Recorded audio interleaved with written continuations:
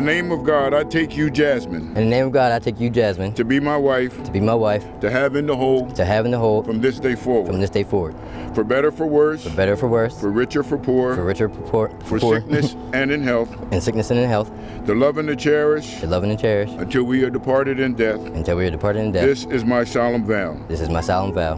Jaszmine, in the name of God, In the name of God, I, Jaszmine, I, Jaszmine, take you, uh, J- Devon, take you, Devon, to be my husband, to be my husband, to have and to hold. To have and to hold. From this day forward, from this day forward. for forward, better, for worse. for worse, better, for worse, for richer, for for poor, richer, for poor, in sickness and in health, In sickness and in health, to love and to cherish. To love and to cherish. Until we are parted in death. until we impart. This is my death. solemn vow. This is my solemn vow.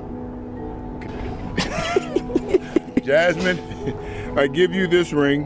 And Jaszmine, I give you this ring. As a sign of my vow. As a sign of my vow, with all that I am. With all that I am. And with all that I have. and with all that I have. I honor you. I honor you. In the name of the Father, in the name of the Father, the Son, the Son, and the Holy Spirit. and the Holy Spirit. Praise it.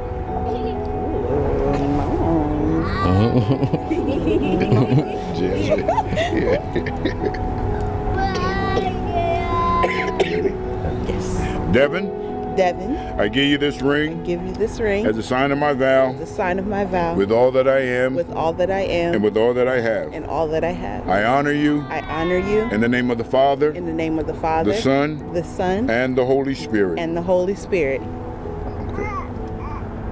Sit down. Go ahead. Go sit down. O God, you have so consecrated the covenant, and it is represented between Christ and his church.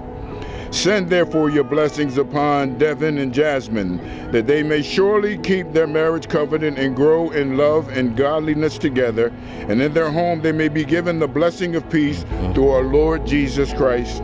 Amen. Amen.